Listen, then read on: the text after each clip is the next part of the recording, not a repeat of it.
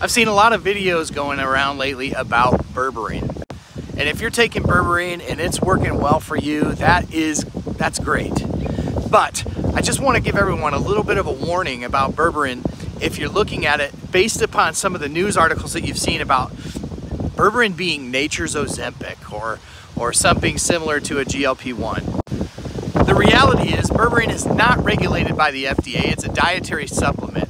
And while it's been around for a lot of years and it's been used safely by a lot of people, there is a misconception that because it's been around for a long time, it is completely safe for everybody to use, and that is just not the case.